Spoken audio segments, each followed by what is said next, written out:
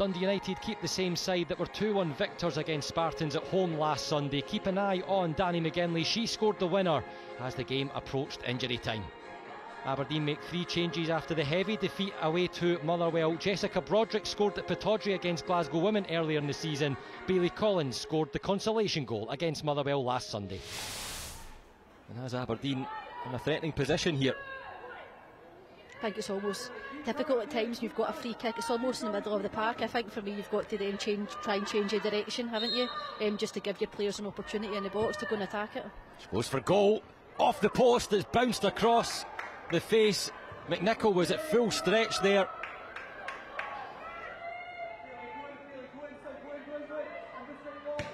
Cowper drives it forward. Forrest does well to stop the flick of Guthrie. Hutchison only has two Dundee United defenders to contend with. Up against Delworth again. Hutchison comes out on top that time and sticks the finish away just as you expect from Bayley Hutchison. Aberdeen celebrate. It's the visitors who have taken the lead here in this early SWPL Sunday clash. And it's Bayley Hutchison's second goal of the season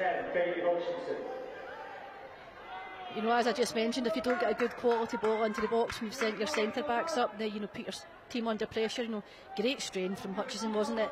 You know, she's had that drive and run. We've just seen one before that where Delworth managed to get a toe on it, but not on that occasion. You know, great play, great striker play. You know, she's managed to use her strength, use her pace. Great finish.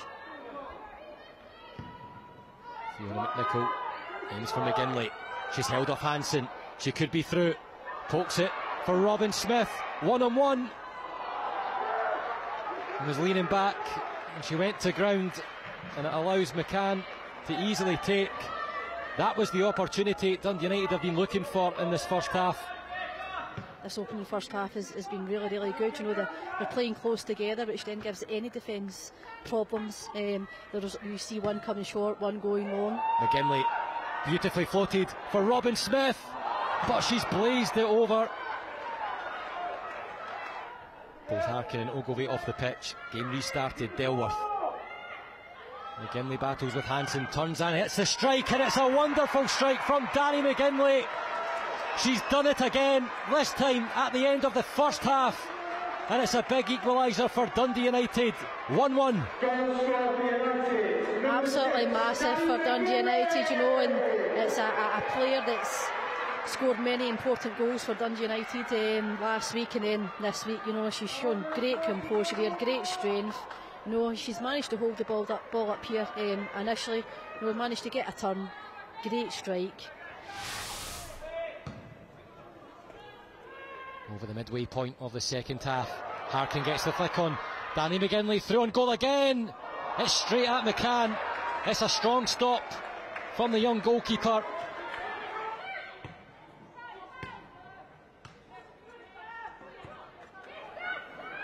Here's Danny McGinley again. Releases Rachel Todd. Can she get the drive across? Touch from Broderick, and it moves away from Jodie Malcolm. Dundee United just trying to force something. But it didn't happen there.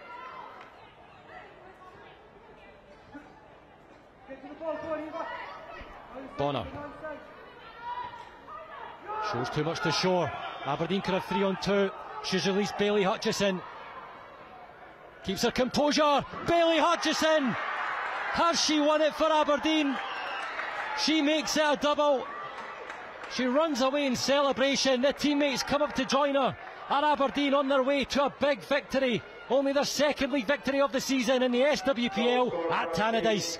Incredible goal, you know, for me. It was a, a short pass by Bonner for United into the middle of the pitch. But Hutchison, as she's shown all game, just too much pace, too much power. She, power. She's just brushed Ryan aside and she's got that direction, that power into the box, into the goal. Fantastic. We just never got going in the first half, and then obviously as, as the half went on, two or three chances, and then we obviously get going half time, and we made two or three changes at half time, and I think we actually started setting half pretty well. And again, we've had two or three chances, and we don't take them, and at this level, you get punished.